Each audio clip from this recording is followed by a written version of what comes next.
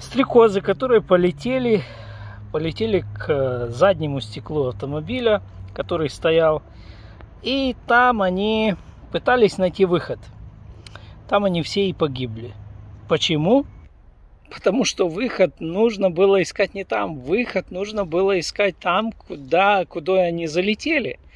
Если бы они а, искали выход там, куда они залетели, то они бы вылетели и были бы на свободе. Иногда у людей бывает тоже в жизни так. Они, попав в какой-то тупик, э, движутся вперед и вперед и вперед и вперед, вместо того, чтобы остановиться и спросить, где же правильный путь. Иногда, уперевшись в стенку, нужно не, не пытаться ее пробить, а нужно просто-напросто развернуться и пойти в другом направлении. И развернувшись, человек может найти свободу там, именно где он, э, скажем так, ушел в сторону. Друзья, в Библии есть такие стихи, где написано «Вспомните путь древний». Или же Иисус Христос говорит «Вспомни, где ты не спал, и покайся». То есть иногда человеку нужно не, не пытаться, знаете, а подстраивать или вот если человек начал строить неправильное здание, и это здание, оно рушится и рушится и рушится, и человек думает, ну как же мне сделать так, чтобы оно, чем бы его лучше подпереть?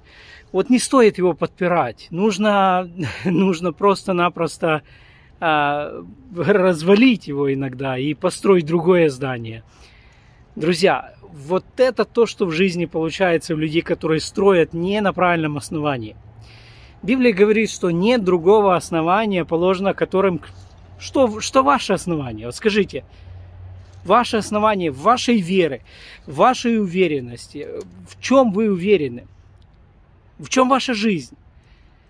Библия говорит, нельзя положить другого основания, кроме Иисуса Христа. Если в вашей жизни Иисус Христос не стал основанием, то вот эти тупики, в которых человек попадает и бьется, и бьется, как вот эти стрекозы, которые попали в заднее стекло э, э, заброшенного автомобиля, и там же они умерли.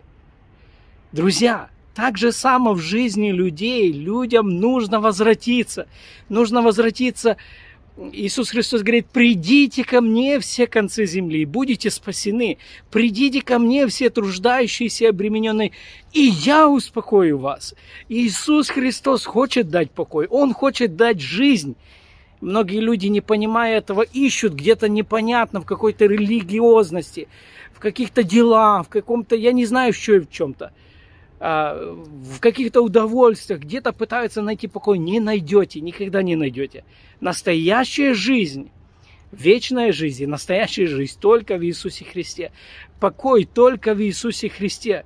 Выход только в Иисусе Христе.